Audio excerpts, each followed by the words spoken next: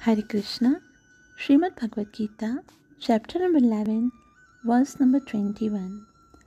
Amihi tvam surasangha vishanti केचित् भीता प्राञ्जलयो गृह्णन्ति स्वस्तीत्युक्त्वा महर्षिसिद्धसङ्घा स्तुवन्ति त्वां स्तुतिभिः पुष्कलाभिः। आमेहि त्वां सुरसङ्घा विशन्ति। केचित् भीता प्राञ्जलयो गृह्णन्ति। स्वस्तीत्युक्त्वा महर्षिसिद्धसङ्घा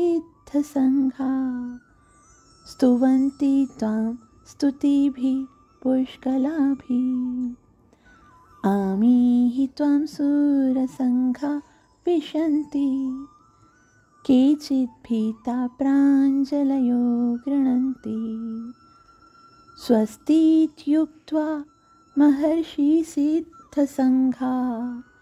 स्तुवन्ति त्वां स्तुतिभिः पुष्कलाभिः। अर्थात देवों का सारा समूह आपकी शरण ले रहा है और आप में प्रवेश कर रहा है। उनमें से कुछ अत्यंत भयभीत होकर हाथ जोड़े आपकी प्रार्थना कर रहे हैं।